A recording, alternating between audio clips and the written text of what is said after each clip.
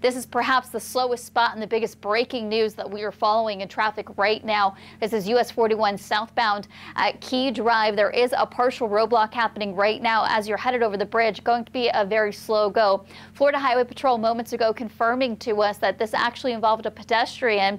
Someone hit the pedestrian. That pedestrian, they say, did die from their injuries, and the vehicle left the scene of the crime. So this is what they're looking for. The information they just put out is a 2016 2019 Chevrolet Silverado. It's blue in color, and do watch out. It will have some uh, damage on the right side of one of the headlamps. That's your morning traffic.